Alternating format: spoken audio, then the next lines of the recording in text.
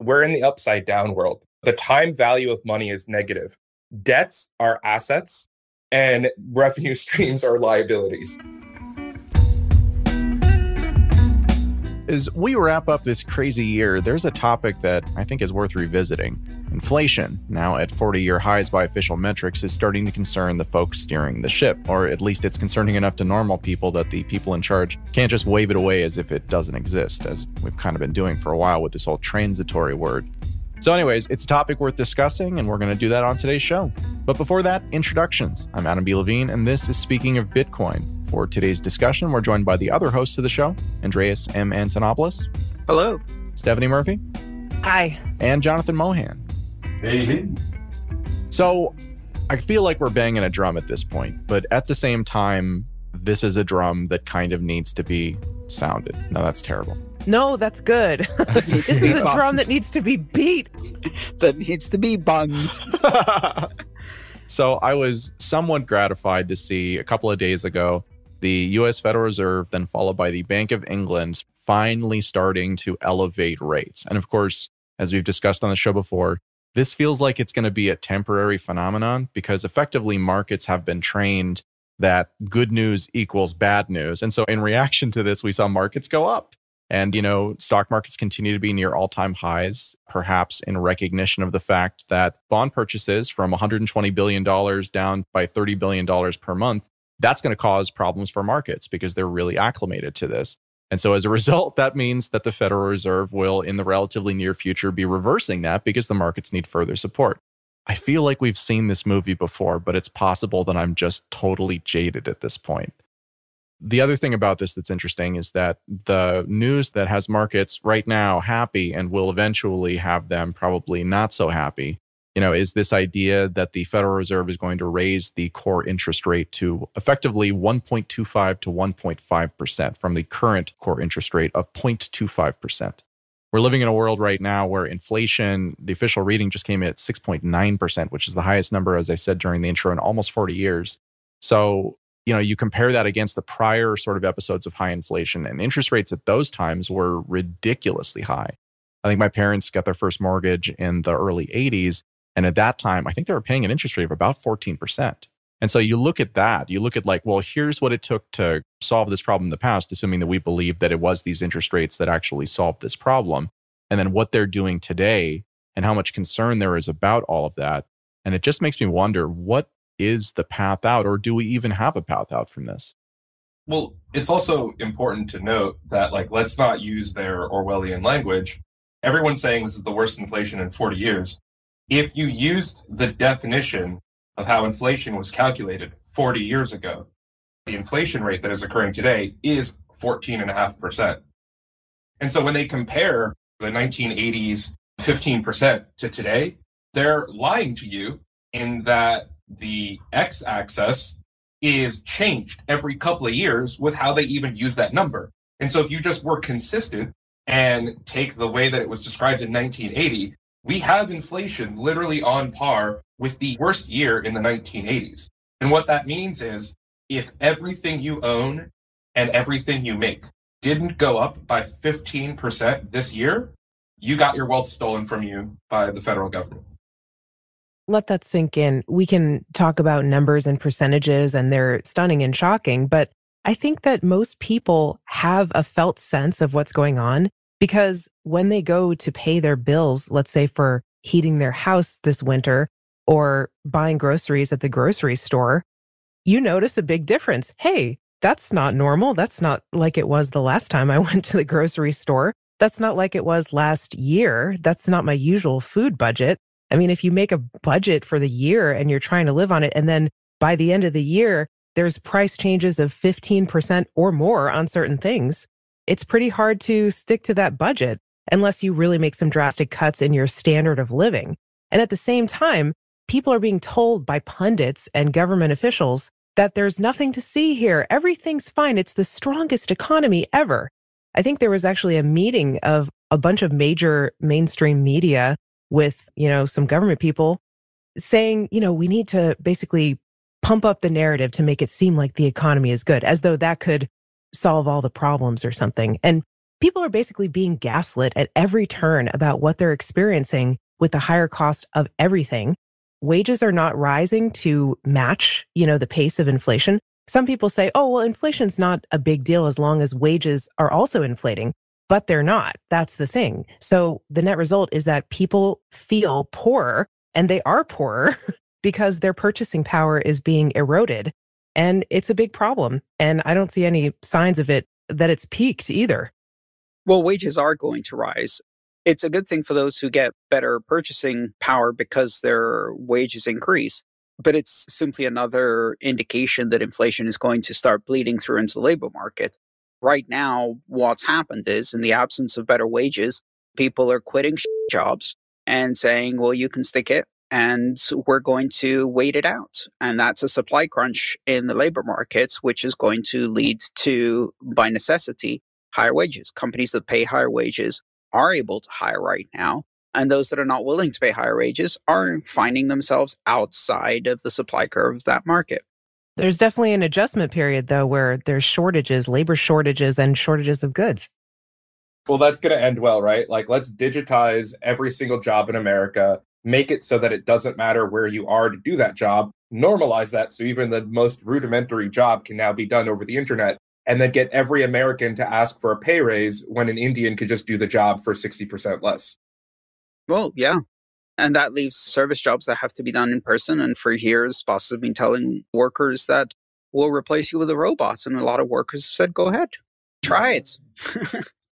you know, one of the things that I've been tracking in addition to the, you know, unemployment rate and the inflation rate and things like that, again, official statistics as, you know, as we've talked about on the show before, we had that episode with John Williams a little bit earlier in the year, who does shadowstats.com, which does continue to track all of these different metrics sort of in the way that they were before the sort of changes started to happen in the 1980s.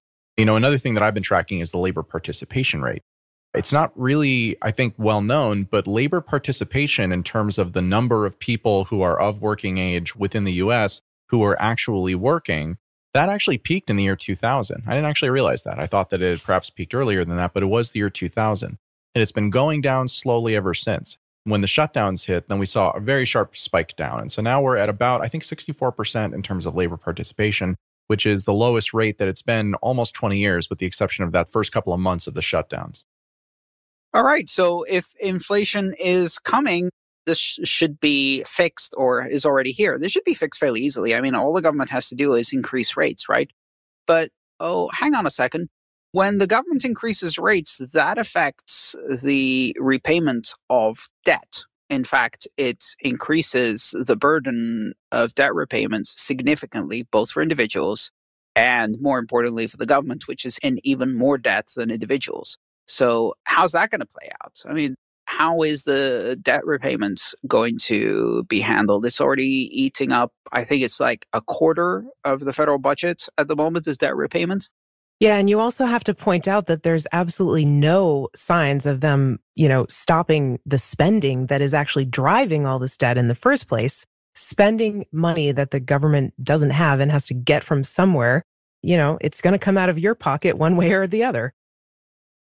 Yeah, I'm looking at the T bill rates right now. And again, like we're talking about inflation, right? And again, the whole idea of investing in something that's safe is that it provides a low yield, but you still gain relative to inflation. Now, spoiler alert anybody investing in T bills who isn't the Federal Reserve or the Treasury Department themselves is not really doing a favor to themselves. They are effectively just given money to the government in order to do this. And so, again, increasingly people are doing it less and less. And so, increasingly, people are finding other ways to spend their money. We're going to talk about this in another episode that'll be coming out next week. But yeah, I mean, I don't know. Like, I don't want to go down this super dark rabbit hole that we've already gone down here, but I'm having a little bit of trouble seeing the light at kind of the end of the tunnel here. Typically, economic signals like this would be really, really kind of bright red lights that would say to a responsive leadership class that something needs to change because this is unsustainable. And that unsustainability manifests in multiple ways. But one of those ways is it makes it more difficult for me to retain the power that I have to determine how we do things. And I kind of have lost faith, I suppose, in the system to do that.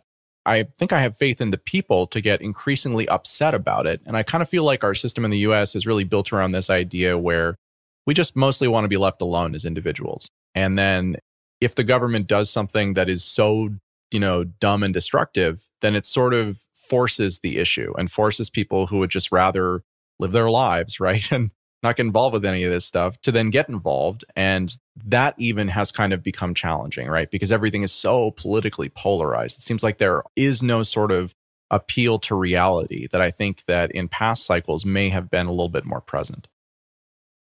Well, I'll tell you one thing. The one conversation that isn't happening in political circles is about inflation. There's a lot of other things being talked about, mostly distractions here and there.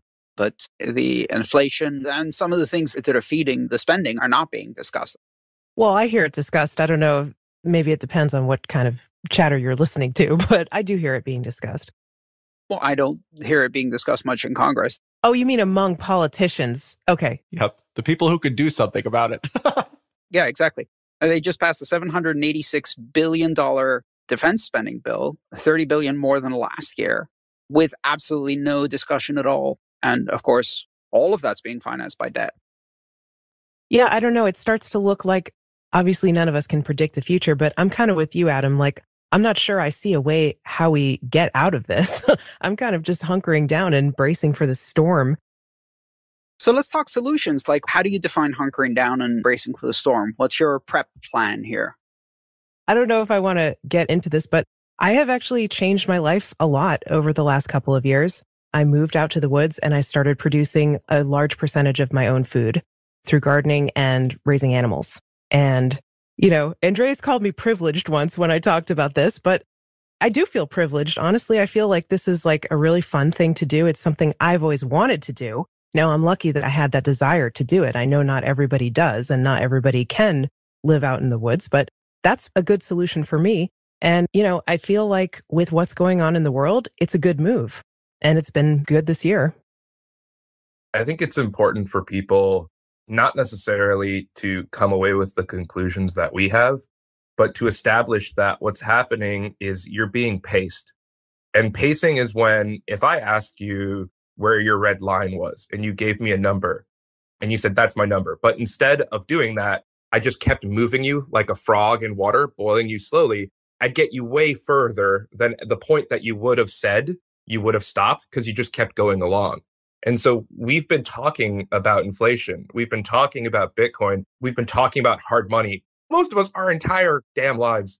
Like, this is it. Like, people need to think through what is the level of inflation that for them is the red line, where they then need to take steps in their lives that are non trivial, that affect their friends, that affect their family, that affect their wife, that affect their kids, but that that's the line that they know they now need to do something about it. And maybe an official rate of 7% isn't that line for you. But right now, while you're listening to this, think is 12% that line? Is 15% that line? Is 20% that line? When is the number high enough that you will actually do something about it and think about it's better to be a year early than a day late? Because when this goes bad and you're a day late, you're going to wish to God you were a year early. Are you talking about investment strategies or like lifestyle stuff? Just everything. Bit of both. Let's talk investment strategies. I mean, you mentioned growing your own food and raising animals. And we've also talked, so that's a great life strategy, you know, being self sufficient, reducing your costs, being as independent as possible. It's partly also because, like, I don't like what's going on in greater society right now, and I want to be away from it as much as possible. Yeah. And that's great if you can do that.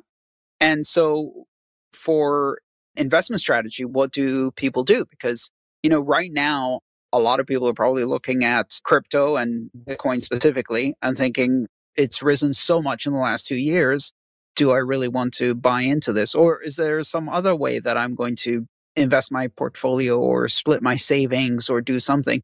A lot of people are buying assets. They're buying assets they think are durable assets whether that's cars that don't depreciate, secondhand market for cars actually to the point where you can sell a secondhand car two years after you bought it for pretty much the same price you bought it for because the market's so squeezed.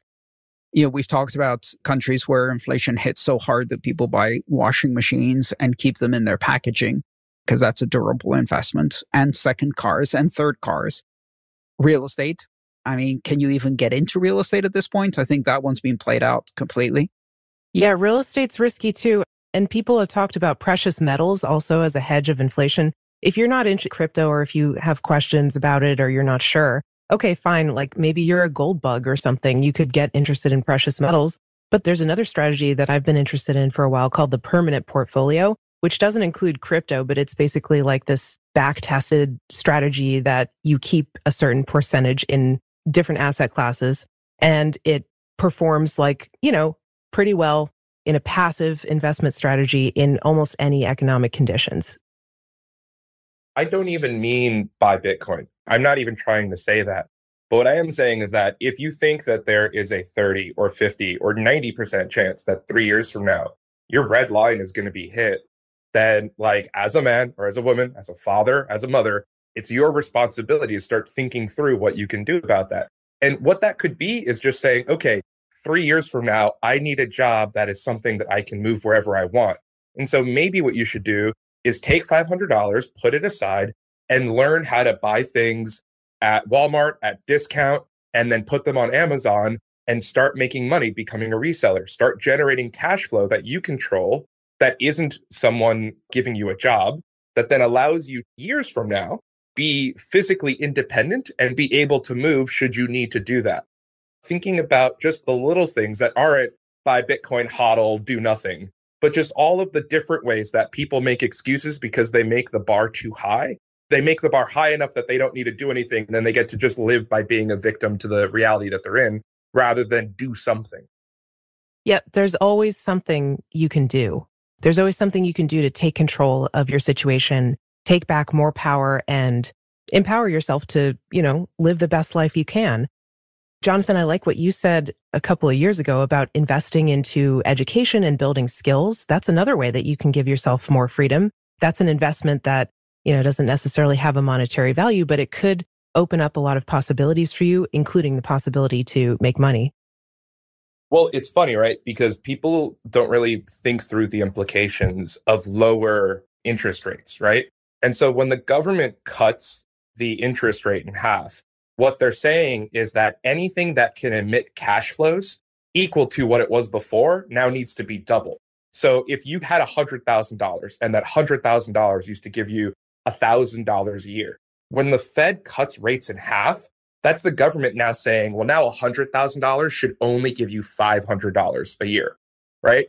And so if you think of yourself as an asset, what the government is saying is every time they cut rates, they're saying you as a person, you as a productive vehicle, you now need to be that much more capable in order to make the exact same amount of money per year.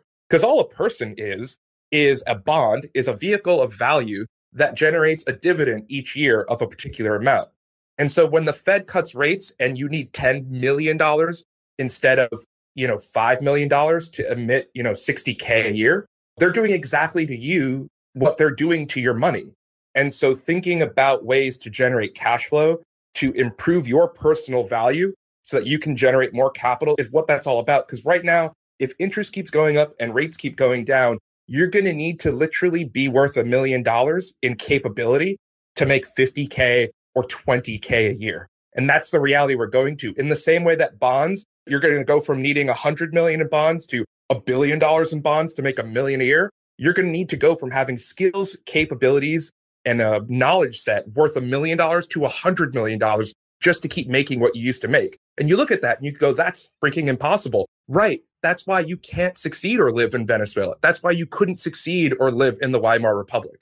And people just need to look at what's happening right now, look up the crack up boom, and figure out where in the line is their line for them to get the out and just think through like this isn't alarmist. This is just understanding the way that these things are playing out and having you come to your own line in the sand rather than just be a victim to what's happening by not thinking about it and just going along with it until it's too late.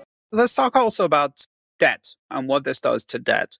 I think it's important to realize that the environment we were in where interest rates were really really low hurt people who saved money it hurt them because they got no return on their savings so what happens when that changes we're looking at an environment that over the next five years is probably going to change fairly radically. We're going to see much higher interest rates. And what that means is that if you have money in the bank, you can actually make a bit more interest. So savings are going to get encouraged by this. But, you know, the corollary to that is if you have a fixed rate loan, if you owe money, but you owe it at a fixed rate and you are lucky enough to get that in before the rates go up. So you get a loan now at two, three, four percent. We're never going to see those rates again. It's as simple as that. So if you have a fixed rate mortgage, the inflation is going to drive the value of your house up and the purchasing power of those dollars, if you had them otherwise, down. So having a fixed rate mortgage right now is going to be a very good investment five years from now when the rates are three times higher. That's one way to look at it. Another way to look at it is if you have student loans and those student loans are fixed rate, stop paying them right now. Because what you want to do is take that money, it's basically 3% or 4% or whatever it is, stop paying them and let inflation erode the value of those loans. A lot of people are doing that anyway, not because of a brilliant strategy, but because they can't. yeah, but what Andreas was saying is that we're in the upside down world. The time value of money is negative. Debts are assets and revenue streams are liabilities. Yeah, exactly. That's what happens in that kind of environment. And, you know, like I'm hearing all this stuff and thinking about it, especially some of the ways that you're putting it, Jonathan. I really like the way you're expressing it. And I'm thinking, gosh, this is depressing. And it is. And it's okay to feel a little bit depressed sometimes. Like you have to reach acceptance with, okay, this is where we're at. I can't control it, but there are things I can do to improve my own situation. And let's get creative and think of solutions that can help. And, you know, it's okay though to feel like, first of all, you're not alone. A lot of people are going through the same thing. If you feel like, hey, this isn't fair. And you're right, it's not fair. you know, it's okay to feel that and sit with it, but you reach acceptance and then you figure out ways to empower yourself as best you can and live your best life. I'm not to the acceptance part yet. I think that you said that very well, Stephanie. And I think that that's probably the biggest challenge that I see with all of this is that, like, you know, we've been doing this show for eight years, and like, that's four years after I came to the conclusion that the system was pretty darn rigged and that if you played the game by the rules that were on the box, then you were going to lose because those aren't actually the real rules, right? And I feel like that a lot of people I know are in that same situation. I think that we all, again, you know, had concerns that led us to take different paths in lives than a lot of people. And, you know, on the one hand, that's great for us. And I'm happy that I, you know, paid off debt years ago and all of the other things that I did. But on the other hand, it just makes me so sad about the reality that people who didn't take the time to do this because the signals weren't obvious, right? Like they were there if you really cared. But like I've been so hopeful that we were going to avoid this fate. And we've been continuing to walk down this path. And I don't know. I really go back and forth on whether the idea of optimism about these things is just fundamentally misplaced when it comes to the walk up to it. Well, optimism is understanding what the best possible outcome available to us is and doing everything you can to manifest that. Fantasy is when there's no path to achieving your desired vision and yet you wish that that could be the case, right? And so the IPCC said that unless we literally kill billions of people in stopping all CO2 output, we will literally do nothing to prevent catastrophic climate change as defined as the IPCC's understanding of it, right?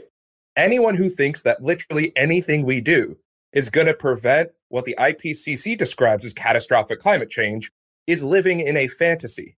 Now, you can be optimistic about what we can do to mitigate the harm from that, but to think that we can prevent that is a delusional fantasy because that's not a reality available to us to manifest, right? In the same way, there is no way out of this crack up boom. This crack up boom is coming.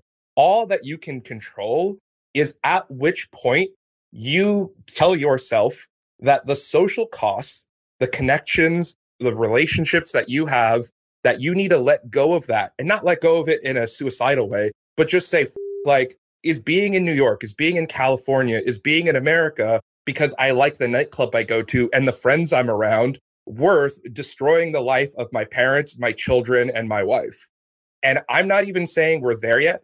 I don't even think you think we're there yet But what I'm saying is you need to literally take out a piece of paper and write down when it's going to be apparent for you to get the fuck out. Because unless you do that exercise now and then hold yourself accountable to it, you're just going to be here until you wake up one day and all your money is worth nothing and your family's future is gone.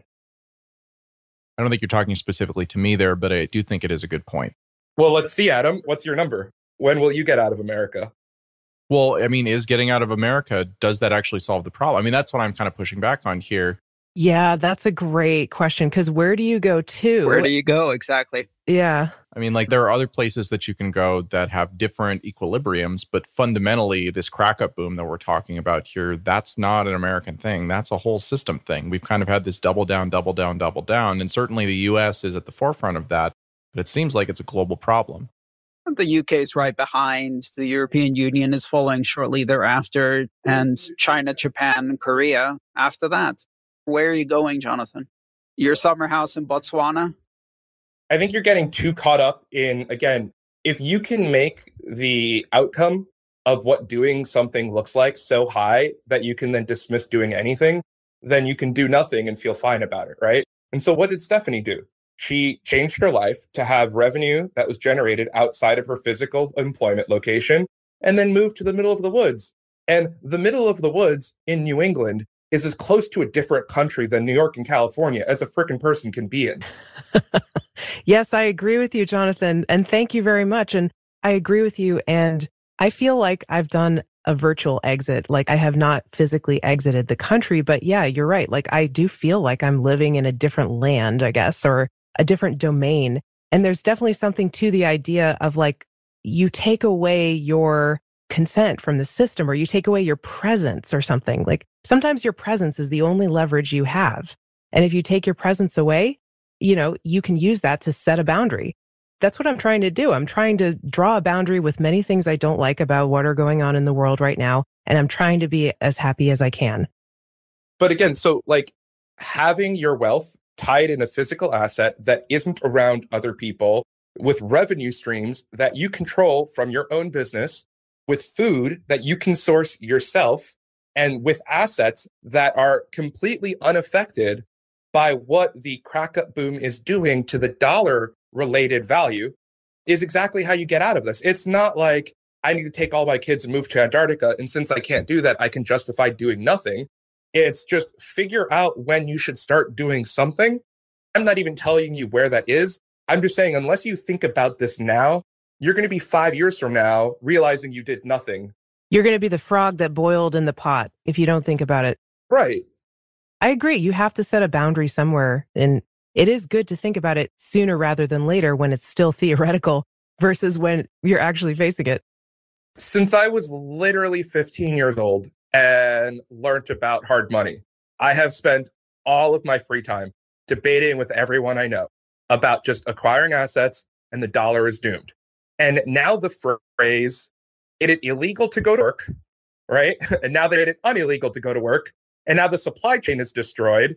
And now you have the highest inflation in your entire living memory. And people are still not doing anything. And not only are they not doing anything, they're not even sober enough to just sit down and spend an hour and say, what will the signals look like before I then hold myself accountable to doing something? And I'm just saying, for good God, like if the highest inflation numbers in living memory isn't enough of a signal, not for you to do something, but to sit down and say, what will it need to look like before I do something? Then why the f- are you listening to this podcast? well, not entirely in living memory for two reasons. One, I've lived a bit longer than you, Jonathan, so my living memory includes the 1980s. Secondly, in the 1980s, I lived in Greece where inflation was much higher than 14%. So, yeah. so for me, it's kind of warm, but it's not really hot yet. yeah, but we're in the middle of the story. We're not at the end. Yeah, I was just thinking about that. I mean, things are not good, right? But at the same time, things are also not over. And there is still time. I saw the other day that Strike came out with daily dollar cost averaging for purchasing Bitcoin. And I thought that was actually something that I might use. Minutely dollar cost averaging. Yeah, exactly.